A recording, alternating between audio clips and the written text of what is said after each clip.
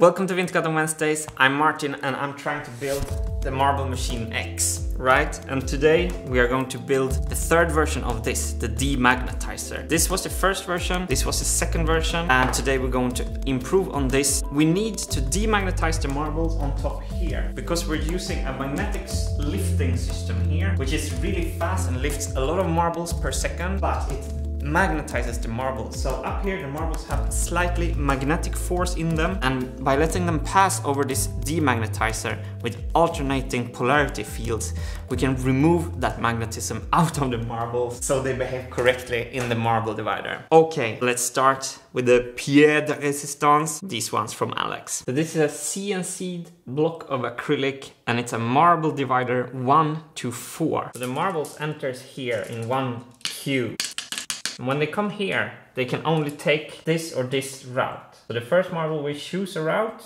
okay, it goes there. But as soon as this route is full here, the marbles will take the other route. You see how they automatically divide themselves like that? Now you see this is full, so it goes here to the outermost one. Apply some pressure here. Now you see how it takes the last free channel. I do think there can be some improvement in the geometry just at these crosses, but still you can see I did nothing and they divided themselves completely evenly. Next part is this beautiful aluminium part. And since we're using strong magnets in this sub-assembly, I've been designing for aluminium since it's a non-ferromagnetic material. It is just an honor to be able to assemble parts from Alex that looks and feel like this. Great work, Alex. Alex CNC on YouTube. Looks like a small grand piano. These PMA pipes goes all the way into the plastic part.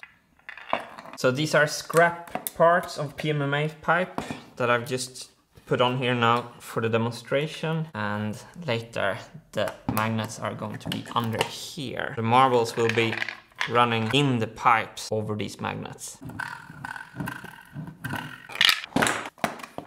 Now it looks like a Boston Dynamics dog instead. Sit. Next part. Here. This is going to be cool. We're gonna press fit these bearings and the tolerance is really tight. So, Alex told me a trick. Freeze spray, heat gun. So I'm gonna heat aluminium and Alex said that when a drop of water boils fast, that means aluminium is 145 degrees and that's the temperature he wants me to go for. Let's start with this one. Drop of water does not boil. Oh, I'm getting 2602. You see that? So that should be much bigger. Let's do the water test. Oh, okay, yes. The water is boiling. Let's freeze the bearing. Okay, what do you think? Oh, no, no. I have to go in straight. Ah, did I miss my chance? Come on, Wilson. Yeah, it's coming, it's coming. This is not what I had planned. I'm gonna make the second one neater. What I thought was going to be a display of engineering maturity became a total panic. There we go. Clean as a whistle. Let's see if we can make less of a mess with the next one. Usual lack of elegance, but we got there. And these bearings will never come out. So this is the shaft for the bearings and I already cut it to length. I now need to make 20 millimeter on this side into a square because that's a key that will fit into a pulley later. So let's start with that.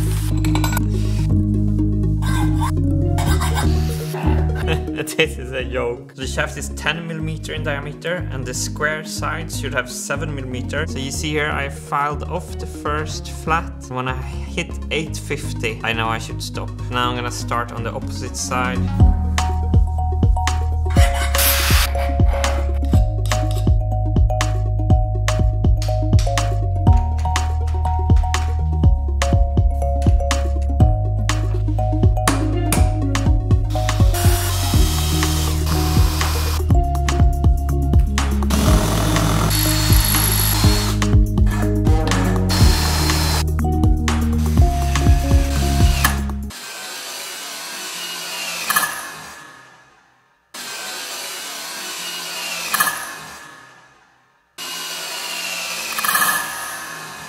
Welcome to Wintergatan Wednesday. Today we have made a rose. Yeah, I screwed this up royally. I could drill it out, but the tap is still in the bottom there. And this hole is too big for an M8 thread. Uh, well, I don't want to recut this part of this shaft, so I'm actually going to try to save this. Why did I need a screw here? It was actually just to prevent the bearing from slipping off. And if I just distort this edge or mushroom it a little bit, the bearing won't be able to slip off. So there's the little mushroom. Do you see it?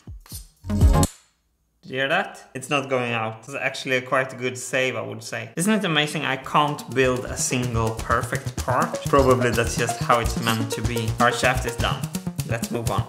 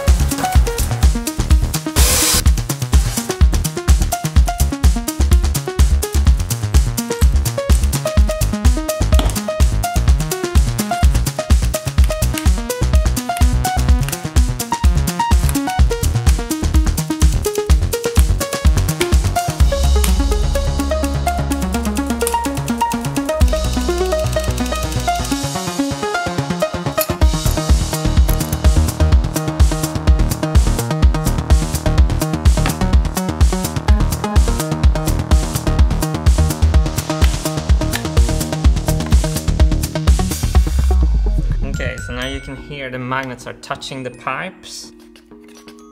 But then we can adjust with these slots here the height of the marbles over the demagnetizer very precisely. And by having this opportunity we can control the strength of the demagnetizer. I'm gonna shorten these screws.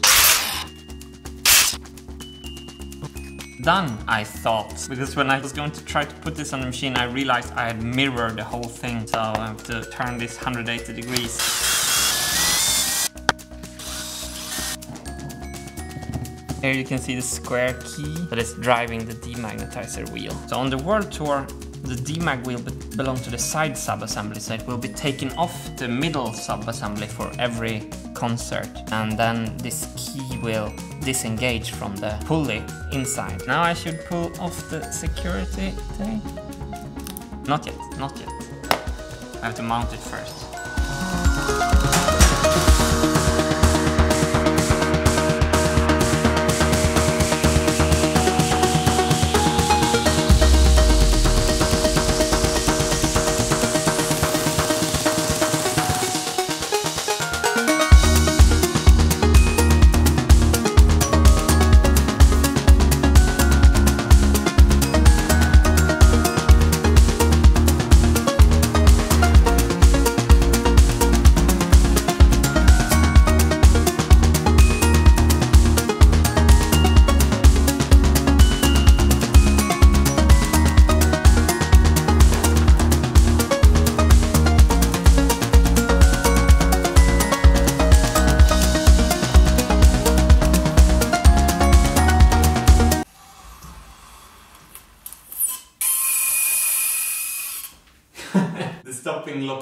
Locomotive sound. Wonderful. It's time for the big reveal. Start with the underside first. Oh, this is gonna be nice. Maybe I should have the light under.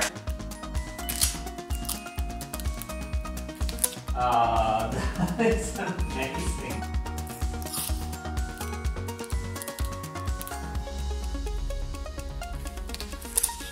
So here is the marbles picked out and go straight into this first channel. The marbles are going to be pushed through from the force of the magnet lift. And they already get one demagnetization here on the way in, but there they pass so quickly. And then when they come on this side here, they go at 25% speed since they're separated over four channels.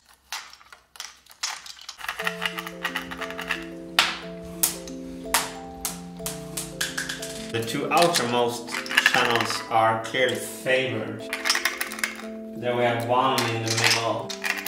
Yeah, then they start to go in the middle. See that? The sign is...